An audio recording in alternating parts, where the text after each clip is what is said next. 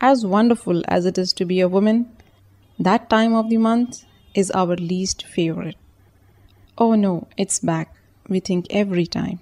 And that's because not only do we have to cope with cramps, bloating, aches, period hormones, discomfort with napkins, mood swings, and not to mention dealing with the mess.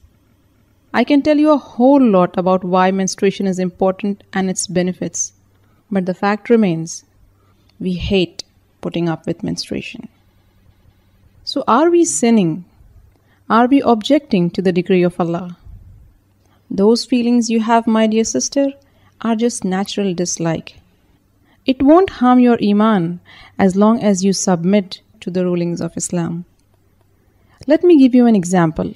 Allah says, Striving has been enjoined upon you while you hate it. We hate it because it brings difficulty and hardship.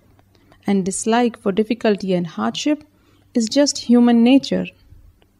It's just like we dislike making wudu in cold weather, but we accept the ruling and still make wudu for salat. So, your natural dislike towards menstruation does not make you a sinner as long as you submit to the laws of Allah. Likewise, a woman's jealousy towards her husband is natural, and so she feels uncomfortable with the idea of having co wives. You cannot tell a woman, don't feel jealous over your husband, because this is her natural jealousy.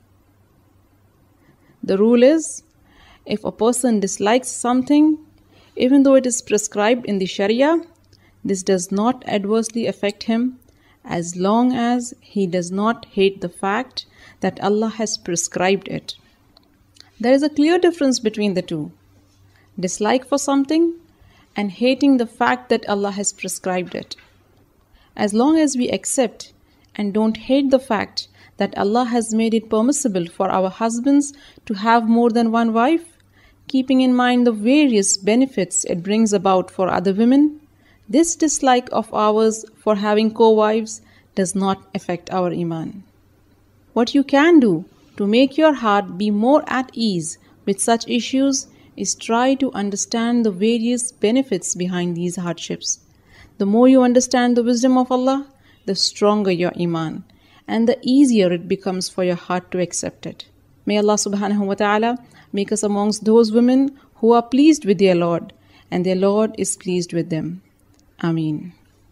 This clip is first in the series of short video clips Everything You Need to Know about the Rulings of Menstruation and How It Affects Your Prayer and Fasting.